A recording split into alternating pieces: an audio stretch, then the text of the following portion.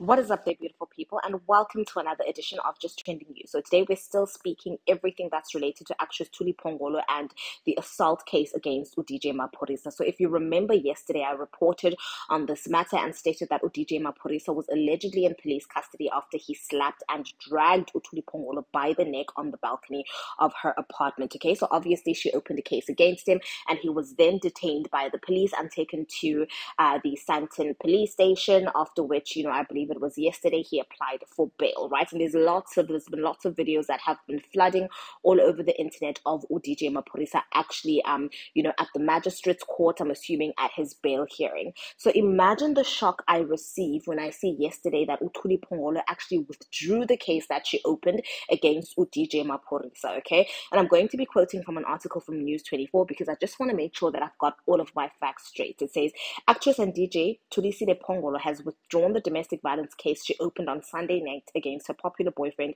Themba Seekoei, known as DJ Maphorisa. This was revealed on Monday at the Randburg Magistrates Court when Maphorisa appeared in court. However, despite the former generations, of the legacy actress withdrawing her initial statement in which she detailed how the Izolo hitmaker assaulted her, the case was heard and the Amapiano producer was granted 4,000 Rand bail and told that his bail conditions would remain effective until the charges against him were formally withdrawn. So Phongolo opened the case on Sunday night, as we all know, at the Sandton police station, where she was told, uh, where she told police uh, that Maphorisa assaulted her following an argument they had on Saturday at a gig, where he became aggressive and slapped her in the face. Okay, so Phongolo also added that the DJ aggressively dragged her by the neck to the balcony and kept hitting her uh, with his elbow while they were fighting for her phone, which he had taken from her. So in her statement, Uphongolo said she sustained bruises on her neck, chest, arms, and also on her right cheek. Well, there you have it, ladies and gentlemen.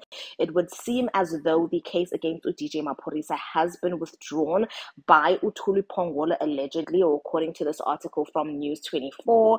Um, honestly, I'm just, you know, I'm not even shocked. You know, when I released my initial video, you know, uh, yesterday, which was detailing the assault that happened and the allegations that were happening against uh, UDJ Maphorisa by Uthuli Phongolo. A lot of people actually commented to say that she would withdraw the case, and she did exactly that.